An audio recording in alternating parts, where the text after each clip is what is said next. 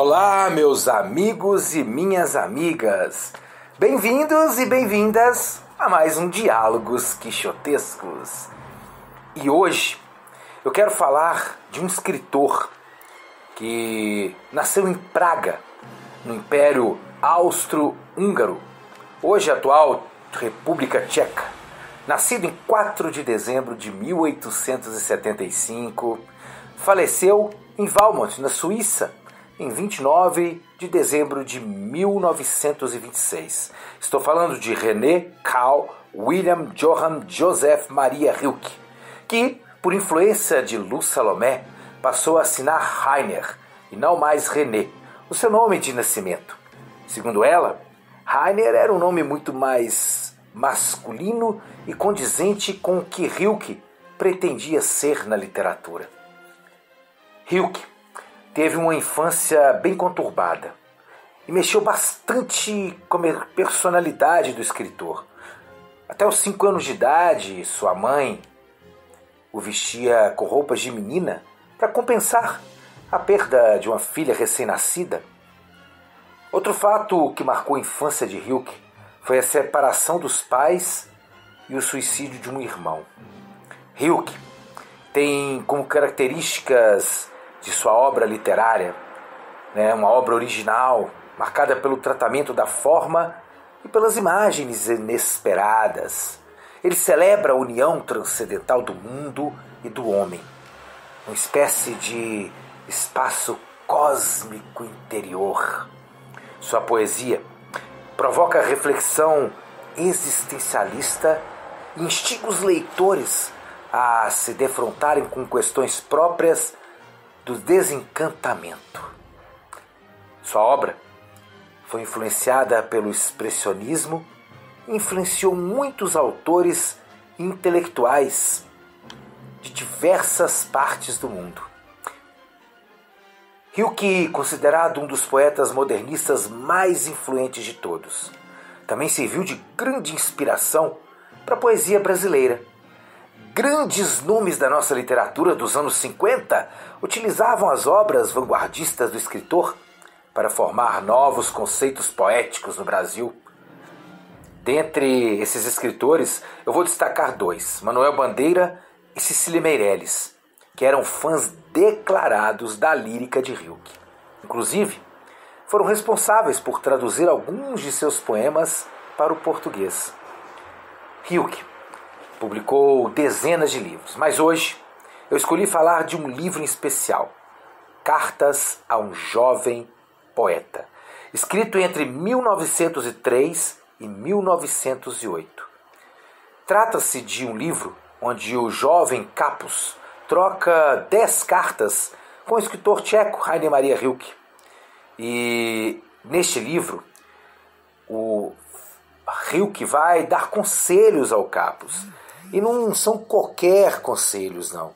São conselhos que vêm desde a sexualidade, da questão do encontro com a natureza, de questões existenciais.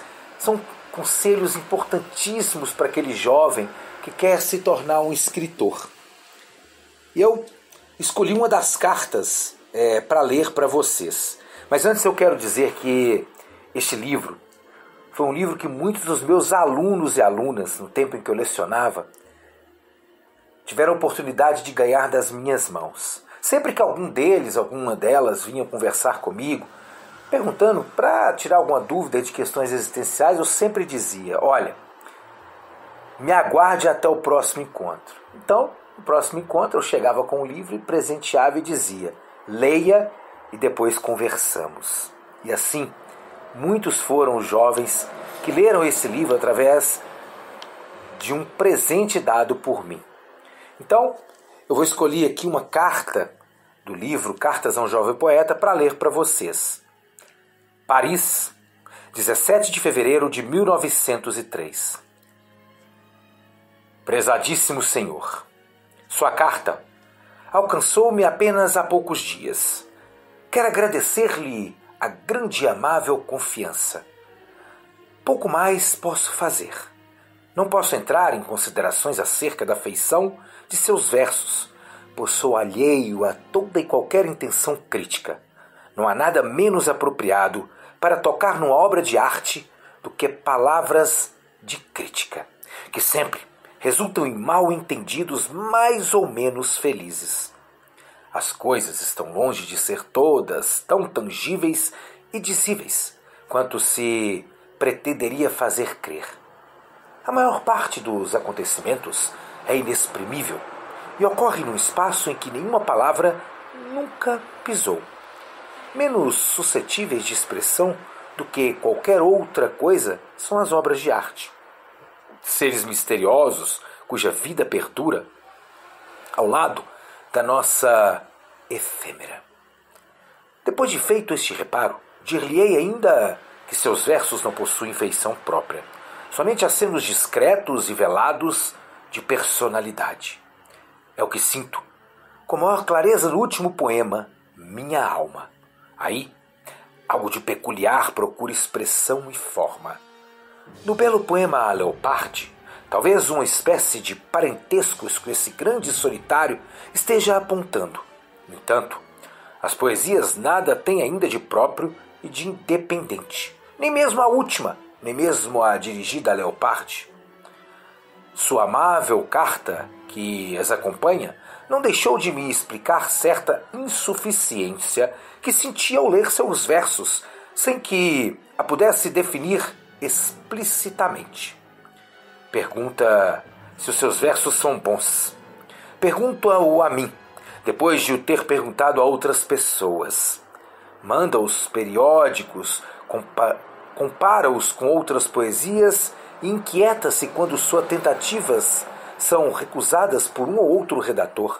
Pois bem, usando da licença que me deu de aconselhá-lo, peço-lhe que deixe tudo isso. O senhor está olhando para fora e é justamente o que menos deveria fazer neste momento. Ninguém o pode aconselhar ou ajudar. Ninguém. Não há senão um caminho. Procure entrar em si mesmo. Investigue o motivo que o manda escrever.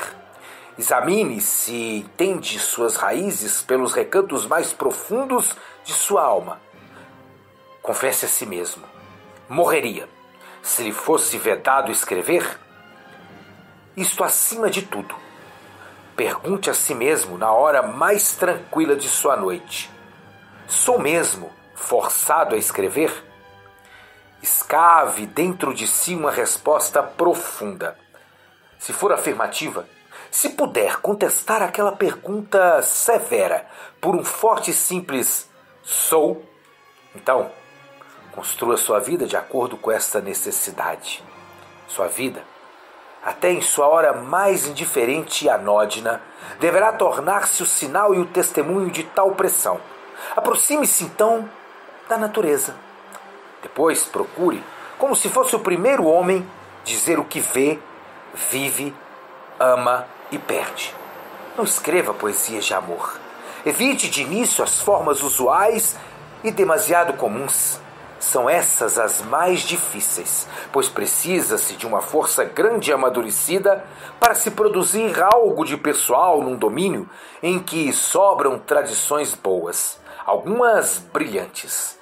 Eis porque deve fugir dos motivos gerais para aqueles que a sua própria existência cotidiana lhe oferece. Relate suas mágoas e seus desejos, seus pensamentos passageiros, sua fé em qualquer beleza. Relate tudo isso com íntima e humilde sinceridade. Utilize para se exprimir as coisas do seu ambiente, as imagens dos seus sonhos e os objetos de sua lembrança. Se a própria existência cotidiana lhe parecer pobre, não a acuse.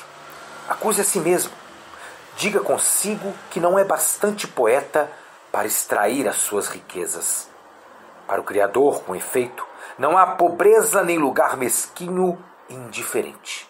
Mesmo que se encontrasse numa prisão, cujas paredes impedissem todos os ruídos do mundo de chegar aos seus ouvidos, não lhe ficaria sempre sua infância, essa esplêndida e régia riqueza, esse tesouro de recordações? Volte atenção para ela Procure soerguer as sensações submersas desse longínquo passado. Sua personalidade há de reforçar-se, sua solidão há de alargar-se e transformar-se numa habitação entre lusco e fusco, diante do qual o ruído dos outros passa longe, sem nela penetrar. Se depois desta volta para dentro deste encismesmar-se, brotar em versos, não mais pensará em perguntar, seja quem for, se são bons. Se tão pouco, tentará interessar as revistas por esses seus trabalhos, pois há de ver nele sua querida propriedade natural, um pedaço e uma voz de sua vida. Uma obra de arte é boa quando nasceu por necessidade. Neste caráter de origem está o seu critério, único existente. Também, meu prezado Senhor, não lhe posso dar outro conselho fora este: entrar em si mesmo e examinar as profundidades de onde jorra a sua vida. Na fonte desta é que encontrará resposta à questão de saber se deve criar. Aceite-a, tal como se lhe apresentar à primeira vista, sem procurar interpretá-la.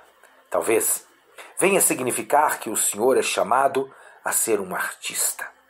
Neste caso, aceite o destino e carregue-o com seu peso e sua grandeza, sem nunca se preocupar com a recompensa que possa vir de fora. O Criador, com efeito, deve ser um mundo para si mesmo e encontrar tudo em si e nessa natureza a que se aliou. Com todo o devotamento e toda a simpatia, Rainer Maria Rilke.